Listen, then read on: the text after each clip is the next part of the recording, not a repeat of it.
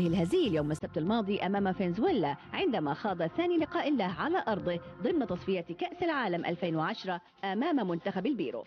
في المباراة التي أقيمت في العاصمة الأرجوانية مونتيفيديو ضمن الجولة السادسة من التصفيات لم ينتظر أصحاب الأرض طويلا للتعبير عن نواياهم في اللقاء حيث منحهم دييغو فورلان الأفضلية بعد مرور ثمان دقائق محرزا الهدف الأول.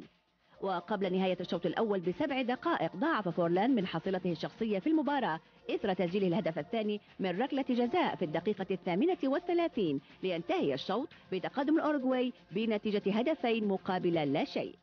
وبعد الاستراحة أكمل مهاجم أتلتيكو مدريد فورلان ثلاثيته في اللقاء في الدقيقة السابعة والخمسين ليسلم بعدها مقاليد تسجيل الأهداف لزميله كارلوس بوينو الذي عزز من جانبه من تقدم الأورجواي في الدقيقة الحادية والستين محرزا الهدف الرابع لأبطال العالم عامي 1930 و 1950 بعدها بتسع دقائق ضاعف بوينو من رصيد أهدافه في المباراة مسجلا خامس أهداف الأورجواي في الدقيقة السبعين. وقبل صافرة النهاية بثوان وضع سيباستيان أبريو اسمه على قائمة المسجلين بإضافته هدفا آخر أنهى به مهرجان أهداف الأورجواي التي خرجت منتصرة بستة أهداف نظيفة أمام البيرو المسكين.